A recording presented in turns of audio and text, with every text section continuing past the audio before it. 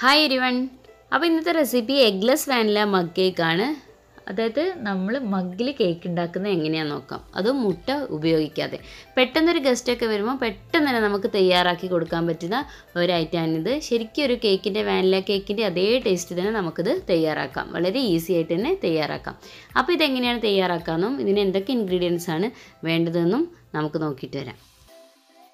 അപ്പോൾ mug cake ഉണ്ടാക്കാൻ first നമുക്കൊരു മഗ് വേണം. അതിനുശേഷം മൈദയാണ് ചേർത്ത് കൊടുക്കേണ്ടത്. ഞാൻ ഞാനിവിടെ ടേബിൾ സ്പൂൺ അളവാണ് പറയാൻ പോകുന്നത്. അപ്പോൾ ഫോർ ടേബിൾ സ്പൂൺ മൈദ നമ്മൾ ഇതിലേക്ക് ചേർത്ത് കൊടുക്കണം. മഗ്ഗിലേക്ക് ചേർത്ത് കൊടുക്കുക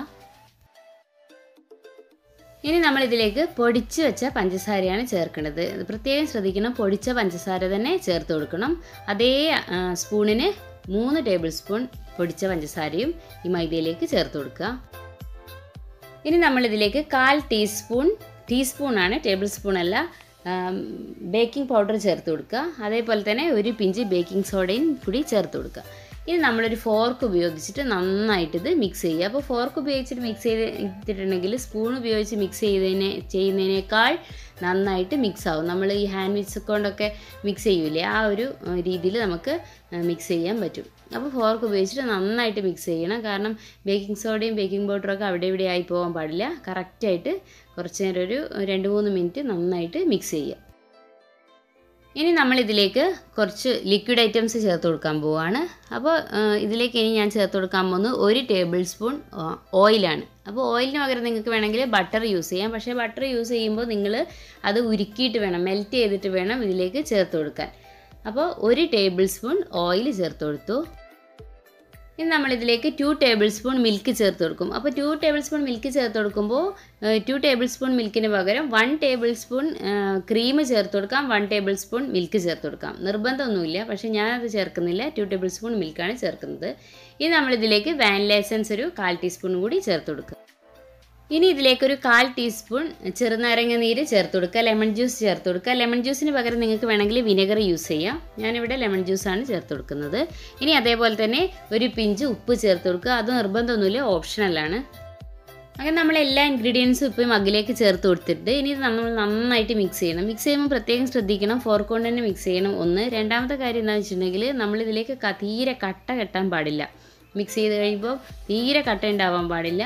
അടിയെ ഇളക്കി മിക്സ് ചെയ്യണം. കാരണം മൈദ അടിയിലൊക്കെ ചിലപ്പം പറ്റി പിടിച്ച് ഇരിക്കും.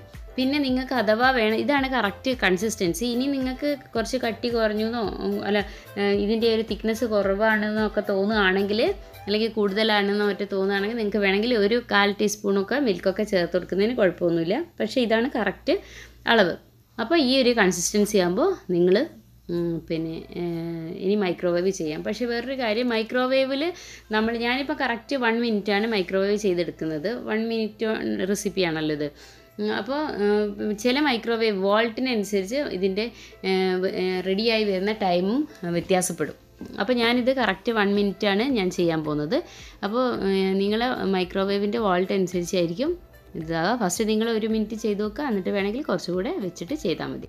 അപ്പോൾ ഒരു മിനിറ്റാണ് ഓവൻ ഞാൻ സെറ്റ് ചെയ്തിട്ടുള്ളത്. അപ്പോൾ ഒരു മിനിറ്റ് ശേഷം കറക്റ്റ് ഒരു മിനിറ്റ് ആകുമ്പോഴത്തേക്കും ഇത് റെഡി ആവുമെന്നാണ് വിശ്വാസം. പിന്നെ അതേപോലെ തന്നെ ഞാൻ കപ്പൊന്ന് മാറ്റിയിരുന്നു. കാരണം എന്താ വെച്ചാൽ ലെങ്ത്ത് കൂടുതലുള്ള കപ്പാകുമ്പോൾ അതിന്റെ ഡോ ബാറ്റർ കുറവാണെങ്കിൽ നമുക്ക് കറക്റ്റ് ഫുള്ളായിട്ട് കിട്ടില്ല. അതുകൊണ്ട് ഞാൻ കപ്പൊന്ന് മാറ്റിയിരുന്നു. ഇപ്പോൾ കണ്ടല്ലോ കറക്റ്റ് ഒരു വൺ മിനിറ്റ് കഴിഞ്ഞപ്പോൾ കുറച്ചൊരു ചെറിയ കപ്പായിരുന്നു ഞാൻ എടുത്തത്. കണ്ടല്ലോ അപ്പോൾ അതിന് ഫുള്ളായിട്ട് നന്നായിട്ട് റെഡിയായി വന്നു. കറക്റ്റ് വൺ മിനിറ്റ് കൊണ്ട് തന്നെ ഇത് കറക്റ്റായി വന്നിട്ടുണ്ട്. നല്ല ഫ്ലഫിയാണ് നല്ല സോഫ്റ്റ് സോഫ്റ്റാണ് പിന്നെ വേണമെങ്കിൽ നിങ്ങൾക്ക് ഇതിൽ ചോക്കോ ചിപ്സ് അതേപോലെ കാര്യങ്ങൾ എന്ത് വേണമെങ്കിലും നിങ്ങൾക്ക് ആഡ് ചെയ്യാം. ഡ്രൈ ഫ്രൂട്ട്സോ അതിൽ എന്ത് വേണമെങ്കിലും ആ ബാറ്ററിൽ നമുക്ക് ചെയ്തിട്ട് മിക്സ് ചെയ്തിട്ട് വേണമെങ്കിൽ മൈക്രോവേവ് ചെയ്തെടുക്കാം. അതേപോലെ ടോപ്പിങ്സ് ആയിട്ട് നിങ്ങൾക്ക് എന്ത് വേണമെങ്കിലും ഡെക്കറേറ്റ് ചെയ്യാൻ വേണ്ടിയിട്ട് എടുത്ത് വെക്കാവുന്നതാണ്. അപ്പോൾ നമ്മുടെ eggless vanilla cupcake cupcake അല്ല മഗ് കേക്ക് ഇവിടെ റെഡി ആയിട്ടുണ്ട്. കറക്റ്റായിട്ട് വന്നിട്ടുണ്ട്. പ്രത്യേകം ശ്രദ്ധിക്കണം. നിങ്ങൾ ബാറ്റർ ഒഴിക്കുമ്പോൾ ചെറിയ കപ്പിൽ ഒഴിച്ചാൽ ഇതേപോലെ ഫുള്ളായിട്ട് കിട്ടും. നേരത്തെ ഞാൻ നേരത്തെ ആ റെസിപ്പി ഫസ്റ്റ് കാണിച്ചത് കുറച്ചൊരു ലെങ്ത് ഉള്ള അതാണ്. അപ്പോൾ അതിന്റെ ഒരു ഹാഫ് ഭാഗേ ഉണ്ടാവുള്ളൂ. അപ്പോൾ ഒരു കാണാനൊരു വൃത്തി ഉണ്ടാവില്ല. അപ്പോൾ അത് ശ്രദ്ധിച്ച് അതിന് ആ- രീതിയിൽ വെക്കുക. അപ്പോൾ ഈ റെസിപ്പി എല്ലാവർക്കും ഇഷ്ടപ്പെട്ടു എന്ന് വിചാരിക്കുന്നു. അടുത്തൊരു അടിപൊളി റെസിപ്പിയുമായി കാണുന്നവരെ സി യു ബൈ ബൈ